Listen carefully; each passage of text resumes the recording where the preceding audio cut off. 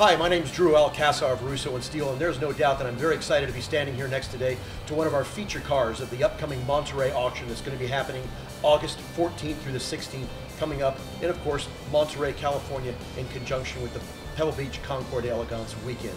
A fabulous car weekend. You've got all kinds of world-class concours going on, vintage races, of course, throughout the weekend at Laguna Seca, and the Russo and Steele auction at the waterfront, downtown Monterey, right next to Fisherman's Wharf.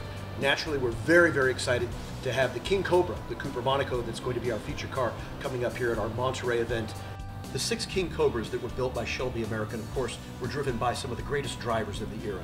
Ronnie Bucknam, Augie Pabst, Parnelli Jones, and of course, this particular car and chassis driven by the great Bob Bondurant. Tell you what, it's awful exciting to be standing right next to one of these cars there with that kind of spectacular history. But the great thing about cars that have that type of provenance is that they're event eligible in every corner of the planet you could name. Prestigious events like the Goodwood Festival of Speed, Monterey Historics, the upcoming uh, event uh, at uh, the Circuit of Americas that's going to be in Austin, Texas. This car will be not only accepted but invited to all of the major events throughout the world. Very significant car, very significant opportunity well, of course, again, as most people know, I'm a Shelby American enthusiast myself, having played with the Shelby cars uh, for most of my natural born life.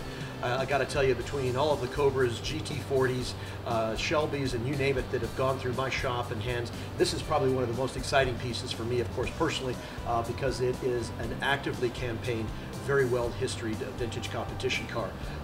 As most know, Russo and Steele moved several years ago right downtown Monterey on the waterfront near Fisherman's Wharf. So make your plans to attend on the exciting new venue that we've got set up down there. We're going to have 20,000 square foot structure that all the cars will be auctioned in. Of course, with our signature auction in the around excitement, you're going to want to make sure you make your plans to attend the auction in Monterey, California, August 14th through the 16th. Be there.